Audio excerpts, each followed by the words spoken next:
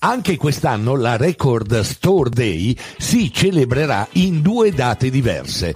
La giornata dedicata ai negozi di dischi indipendenti si svolgerà sia il 12 giugno che il 17 luglio.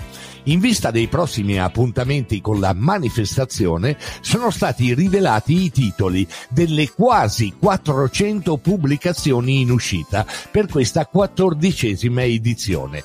Tra questi ci saranno album mai pubblicati prima, rarità ma anche alcune novità.